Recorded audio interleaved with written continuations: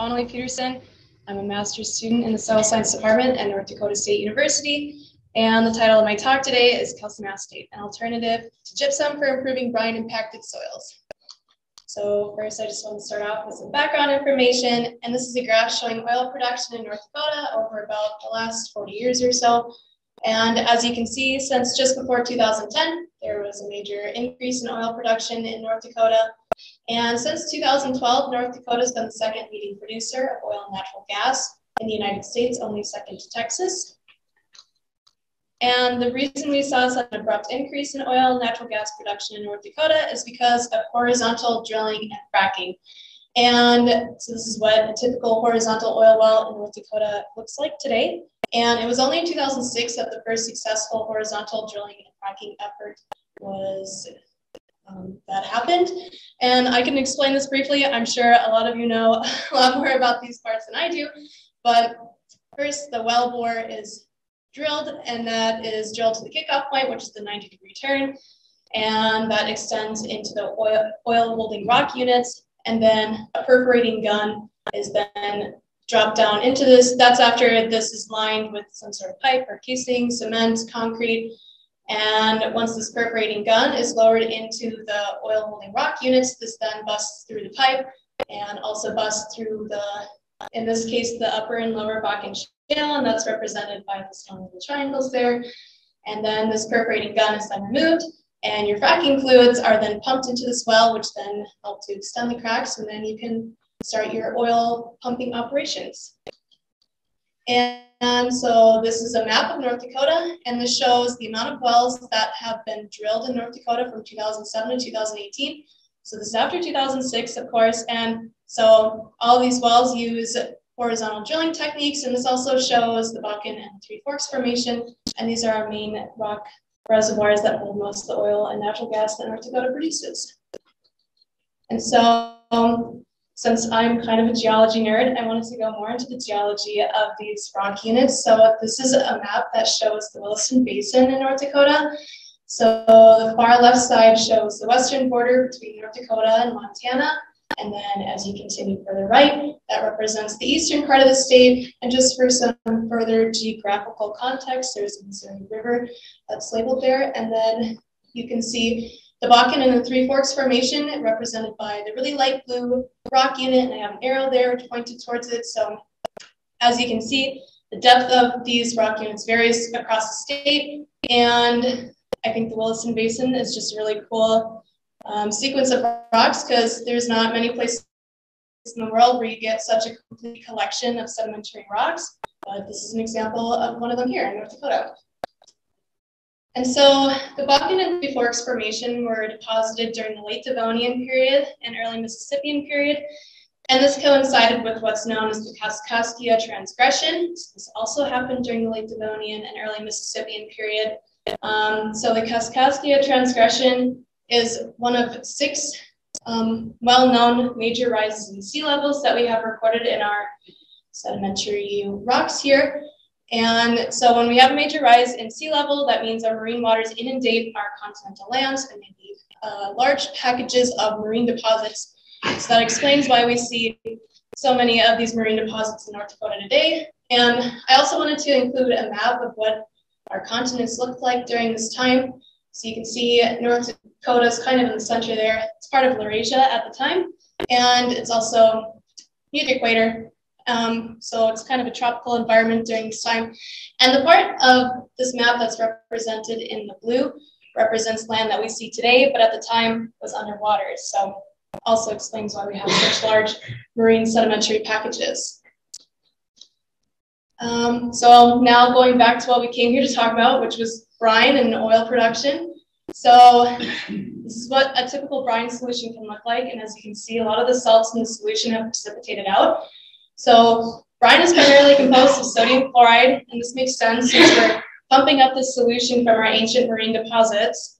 And the amount of brine that is produced alongside our oil varies through time, but usually at the beginning of our drilling operations, we see about a two to one ratio of oil to brine, to brine that's produced. But through time, we see that this ratio of brine to oil typically increases. But on average, over the total longevity of the well, we see about an 18 to 1 ratio of brine to oil that's produced. And brine also has electrical conductivity measurements that are often greater than 200 decisiemens per meter. They also have total dissolved solid measurements that are also often greater than 250,000 milligrams per liter. And this is a map showing Montana, North Dakota, and South Dakota. And then we also have Bakken Formation again, that's outlined by the red line. And so it's a little bit hard to see what's going on here, so I blew it up just a little bit. But the points on this map represent samples of brine that were taken, and their color corresponds to the amount of total dissolved solids that are in these solutions. So as you can see, the amount of total dissolved solids is kind of all over the place, but nonetheless, I think it's also obvious to see that, oops, sorry, that a lot of these measurements contain total dissolved solids that are greater than 321,000 milligrams per liter. So why are we so concerned about brine? Well, there's multiple reasons, and first we'll start out with the negative effects that brine can have on our plant communities. So if we have an excess of salts in our soils, this can cause ionic stress upon our plants. This can disrupt any enzyme activity and protein synthesis. And if there's too many salts in our soils, this can also cause osmotic stress, which induces drought-like conditions upon our plants. This can stunt growth, inhibit water uptake, can also cause or leads to wilt. And if there's too much sodium in our soils, this can cause um, oxidative stress, which leads to the accumulation of reactive oxygen species. And if there's too many reactive oxygen species that accumulate in our plants, then this ultimately leads to the death of our plants. We're also concerned about brine because it also has multiple negative effects on soil chemical and physical health. So if there's too much sodium on our soil absorption sites, then this poses the potential of soil dispersion. So what this looks like is shown in the upper right. So the first image shows our stable flocculated soil aggregates, and we can see how the water is moving through them at an appropriate rate as what's depicted by the arrows. But if there's too high of an SAR and they go through a wetting period, then these aggregates begin to swell, and you can see the water begin to pool, and our water doesn't want to move through our soil aggregates so readily. And if there's too much sodium on our soil absorption sites, these aggregates swell to the point of dispersion. And then we get little to no water movement through our soil. And so the relationship between the sodium absorption ratio and electrical conductivity is shown in the graph in the upper left. So for example, we have a high SAR and a low EC, will likely see some soil structural problems. But we have a high SAR and a high EC, and it's likely we'll see a more stable soil structure. Um, and what this looks like is shown in this slide here. So we have two clay surfaces that are represented here. One has sodium on this absorption site and one has sodium. And both of these go through a wetting period. So on the top, we see that sodium exhibits extensive swelling and eventually leads to dispersion of our soil aggregate whereas calcium only exhibits limited swelling. And the reason sodium on our absorption sites causes dispersion in our soils is because sodium has an affinity to be hydrated, whereas calcium does not. And the reason we see this is that it essentially comes down to sodium having um, a low charge density. So sodium has a relatively large ionic radius to its comparatively small charge, whereas calcium has a charge density that's twice that of sodium. So this promotes flocculation in our soils. So we know that we want calcium on our soil exchange sites rather than sodium. And so historically, gypsum has been the most common in situ amendment that's used for our sodic and brine impacted soils. And an example of what this looks like is shown in the picture right below the caption there. So we have a brine impacted soil aggregate and it's put into a petri dish with just water versus we have a similar aggregate that's put in a calcium sulfate solution. And I think it's pretty clear to see that there's improved aggregate stability when the soil aggregate is introduced to a cal calcium sulfate solution.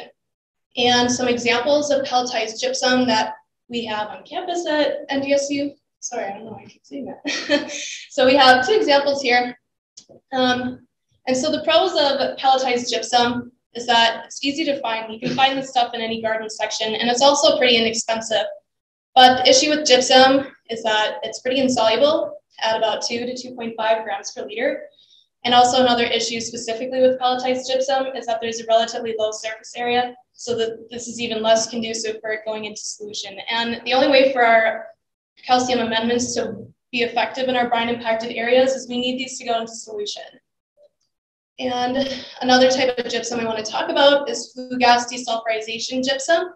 And many of you may be familiar with it because it's produced in North Dakota. So flue gas desulfurization gypsum is produced in the coal refinery process. So in these pre-treatments of coal, a lot of the times there's SO2 gas that's emitted. And to prevent this SO2 gas from being emitted directly into the atmosphere, they go through our wet scrubbers. So this gas goes through the wet scrubber and either a calcium carbonate slurry or solution is then sprayed with the gas and this reacts to form calcium sulfite. And calcium sulfite has no use to us, so then it's force oxidated to form calcium sulfate, which then can either be used in construction scenarios or for us in our agricultural settings and brine remediation. And so some of the pros of flue gas gypsum is that there's a significantly higher surface area than pelletized gypsum, as it's usually kind of a powder, and it's produced locally, and it's even cheaper than our pelletized gypsum at about $10 per ton. But it's still gypsum, so it's still relatively insoluble at 2 to 2.5 grams per liter. And you might be thinking that there's other calcium sources that are much more soluble, and one that may come to mind is calcium chloride. And it is much more soluble at about 745 grams per liter. And another pro associated with calcium chloride is it's easily accessible, but some of the cons of calcium chloride is that chlorides are usually highly regulated, especially in North Dakota. Um, so the maximum contaminant level of chlorides in our surfacing groundwaters is 250 milligrams per liter. And another con associated with calcium chloride is that it's relatively expensive, costing over $1,000 per ton. Another example of a calcium source that might come to mind is calcium nitrate. This is also an extremely soluble amendment and is also readily accessible and is produced as a fertilizer for specialty crops such as potatoes. Um, and but the issue with calcium nitrate is that nitrate concentrations are also regulated in our surface and groundwaters, and the maximum contaminant level of nitrates in North Dakota is only 10 milligrams per liter. And I put this as a con because the price is essentially dependent on the cost of nitrogen, which is highly variable. And there's other products that are sold for the purpose of sodic soil or brine spill remediation. And there's a whole ton I could list here, but I chose to list Desol Plus, which is a common one I've been seeing around lately. And some of the pros of Desol Plus, it's highly soluble, it's sold as a solution. Like I said, it's really important to consider this in our amendments for our brine spill remediation because we need our amendments to be in solution for them to be effective.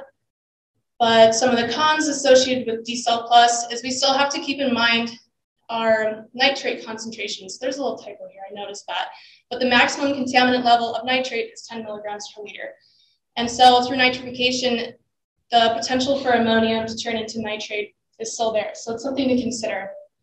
And then also, uh, it's listed that there's active potassium in Desol Plus. I wasn't sure how much there was because I couldn't find a clear chemical composition of Desol Plus was only listed that there was active calcium, potassium, and ammonium, but we still have to keep in mind that potassium is still considered a soil dispersive agent, such as like sodium, although it only has half of the dispersive properties of sodium, still something to consider in something like Desol Plus. And the price of Desol Plus was unclear. I couldn't find the price of just buying the solution or even the services or services associated with applying it. So that was kind of unclear for me. And also, like I said, the composition of something like Desol Plus is pretty unclear. So we have our insoluble salts such as gypsum. We have our other calcium sources that pose threats to our groundwater safety and other things that are marketed for brine spill cleanup. But I mean, I feel like there might be other options. So this prompted the idea of why not use calcium acetate as an alternative to gypsum for brine spill remediation and calcium acetate has about the same amount of calcium that gypsum does, and it's much more soluble than gypsum. And calcium acetate is much more expensive than gypsum, but the thought is that less time and less water is needed to put calcium acetate into solution and to allow calcium to replace sodium on soil exchange sites to ultimately improve the saturated hydraulic conductivity. And just to hone home kind of the importance of our amendment solubility, here's a map of North Dakota. And this shows precipitation values from April to September over a 30 year period. And as you can see in our western oil producing counties, their rainfall rarely exceeds 14 inches. So something important to consider. So to investigate to see if calcium acetate is a good alternative to gypsum, I used a brine impacted soil from McKenzie County, North Dakota. And the corresponding soil information is shown in the upper right hand corner. So I tested this against other amendments, pelletized gypsum and flue gas gypsum, and I mixed these different amendments with my soil at five different rates at zero tons per acre, one, five, 10, and then finally 20 tons per acre. And so just to recap, that's a lot of numbers, we had three amendments at four different rates, and then four rates or four reps of those, and then four reps of control, which equals 52 total runs for measuring my saturated hydraulic conductivity. And this was my saturated hydraulic conductivity method. So my soils were packed into Tempe cells using methods similar to those by Sommerfeld et al. So about a centimeter of my soil was added to the cell at a time. Then I would tap the edge of the cell to allow the soil to, and, to settle and compact a little bit. And then I disturbed this surface to prevent any artificial boundary from forming within the Tempe cell. And once all of these were assembled, I randomized them amongst the Tempe cell holders. This is kind of shown in the upper right-hand corner there. And then I attached these to a main water reservoir, and that's shown in the lower left-hand there. And once the water was turned on, I collected the leachate that moved through the Tempe cells in increments of 15 to 25 milliliter um, increments. And this is determined to be about a half of, half of a pore volume. And so then my saturated hydraulic conductivity was then determined by the time it took for the volume of water to move through the Tempe cells.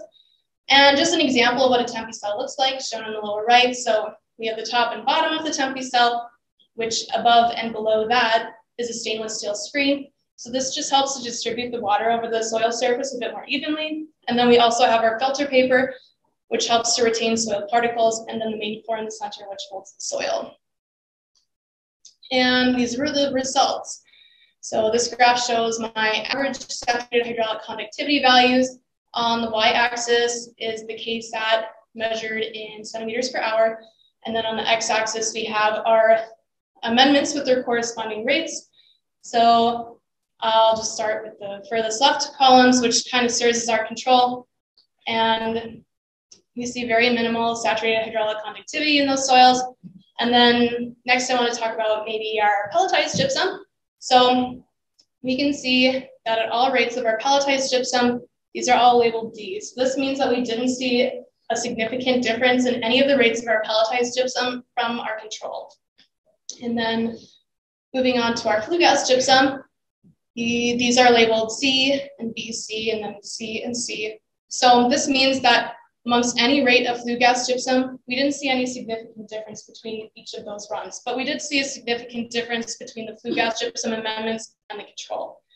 And then finally moving on to the calcium acetate. Um, with calcium acetate, we did see a significant difference, of course, from the control, and we also saw that with increasing rates of calcium acetate, we did see an increase in saturated hydraulic conductivity.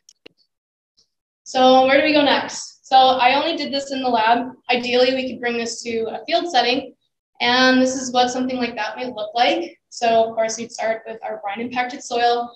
We have our high EC values, our high SAR values, and a lot of the times in these situations, we see a salt crust that accumulates on the surface and sparse vegetation. And then we would apply our calcium acetate to the surface and then we would irrigate. This would allow our salts to solubilize. And an important thing to consider during this step is we need to maintain the ratio between our SAR and our EC just to maintain flocculation. And once everything's in solution, then our calcium is able to replace sodium on our soil absorption sites. This is going to decrease the SAR, increase our saturated hydraulic conductivity, and reduce the risk of clay dispersion. And so once we have calcium on our soil exchange sites, then we could collect sodium and chloride through something like tile drainage, and then we would safely dispose of the solution through something like um, deep injection. And then another next step in this process would be to investigate if the acetate um, anion from calcium acetate serves as an available carbon source for soil microbes. And This would be good for promoting microbial activity, as this is kind of a part of reclamation. Um, but a lot of work has yet to be done on that, but looks pretty promising. And here were some sources that I used to put this talk together today. And that concludes my talk of using calcium acetate as an alternative to gypsum for improving brine impacted soils.